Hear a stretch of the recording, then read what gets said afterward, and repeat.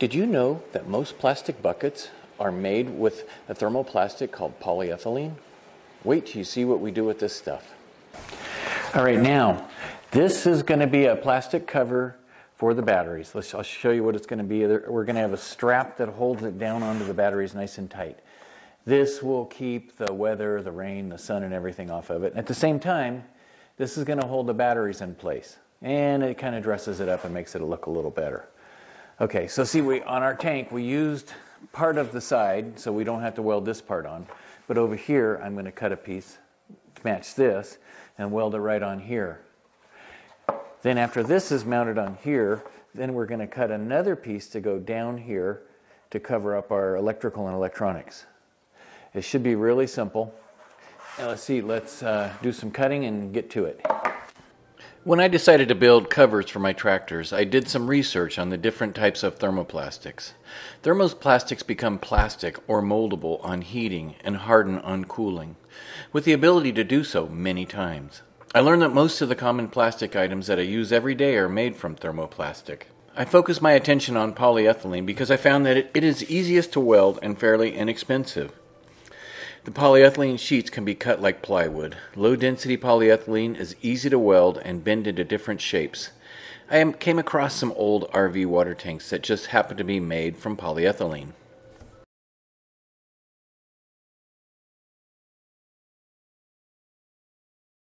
Once I have my larger pieces cut out, I use the table saw to cut my side strips. Then I set the fence close to the blade to cut my welding rod pieces. In this situation, I decided to set my plastic pieces in place. I am using the tacking tip to hold the plastic in place for welding. Once the cover is tacked together, I can now weld it together on the bench slash ping pong table. One thing to note is you don't have to buy lots of expensive equipment to build a machine that will last for years.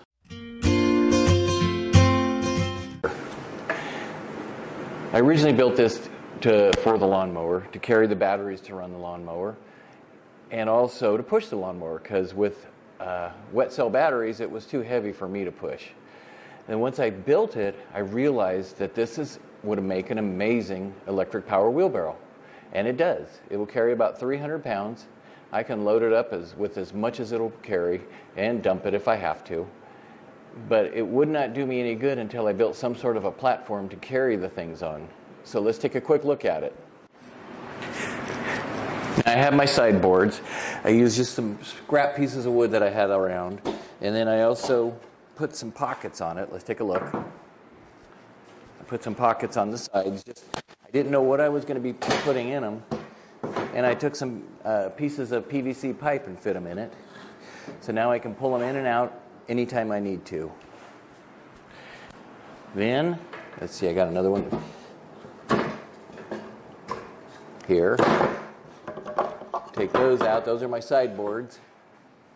Then if I need, then I, I made a floor for it. Just a piece of plywood fit inside here.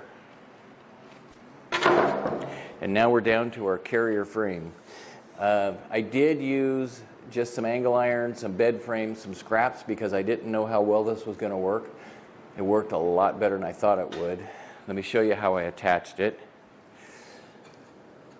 The back just has a pin going through it.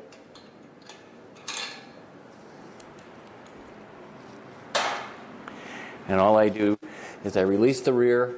The fronts have grooves in it to fit over the mounting bolts for the lawnmower. So I, I built this to fit around what I already had. Let's, take, let's pull this off and take a look. This is my carrier frame. I just wanted to show you how I put it together. Um, my main thing that I wanted, I wanted it big enough to carry a couple bales of straw. I wanted to be able to load dog food, chicken food, whatever my wife happens to need. Um, and I wanted to have it mounted securely to the uh, electric wheelbarrow, or we'll call that just the electric frame. It, it becomes whatever you put on it. Um, you'll note here, this is where it goes over the mountings for the lawnmower. It just sets over that. On this side back here, it goes around the wheel frame on the back and it drops in and this is the pin that I put through to hold it together. This works really well. Now over here on the around it, I I put um, stake pockets.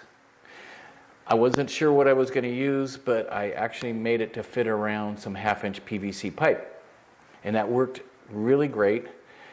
And then across here, I mounted a frame that uh, would allow me to weld these any width that I needed to weld them.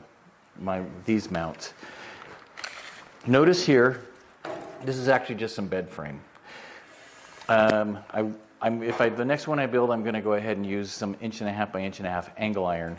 Bed frame's really hard to work with. It works, eh, really hard to drill. It's, uh, I have to keep sharpening my bits when I'm doing it. But other than that, bed frame works just fine. It welds up just fine. It appears to have a lot of carbon in it, which makes it very hard. Okay, this the width of this is going to be 26 inches wide. I did my 26 inches plus at the stake pockets, it's 28 and a quarter. So, so I can still go through a doorway if I need to. I can go through my gates. My length from the front to the rear is going to be 35 and a quarter. 35 is close enough. And then you'll notice when I welded it, all I did was I just overlapped the front pieces over the side pieces. And then I welded them up all the way around. Gives me, it gives me a good, strong um, platform. All right, then let's get these measurements. From the front to the center of the cross piece, it is nine inches to the center. And then I think on the stake pockets, you can just put those wherever you want for the stake pockets. And if you just need a flatbed, you don't need the stake pockets. And then the length of these, the brackets that go down to the mower frame is seven inches. And then you're going to do uh, whatever you need down for this. You're, what I would normally do is I would set it on there, I would level it up over the machine, and then I would build this piece to fit onto the wheel frame. So you could do this, level it, measure it, level it, whatever you have to do. Set this down on the wheel, wheel frame and then get that distance and set it. Then after this is welded on, I will set this in, center it in the hole, and just drill a hole right through it for my pin. Okay, I have my distances here. And then this, this is the last piece that I put on here. Let me slide it around to get a look. I put this on. I wasn't sure if it was going to want to bounce off of the pins, but it doesn't. But I put that on there in case I needed to put like a bungee or some sort of a tie down to hold it down. It's not really necessary. I mean, unless you're going to go out boonie crashing with it while you're running, these will stay on there just fine. All right, I think that takes care of our distances. Oh, yes, I forgot one thing. Um, six and a half to here for this. That's for mine. You might want a taller one or a lower one. I'd keep it as low as you could because it gives it a lower center of gravity. I think I gave you these, let's just be safe, seven inches with the groove. I got our, my length, my width, and that's it. And at the end of the day, if you're tired and you don't feel like moving and you want an easy way to get back home, I got it right here.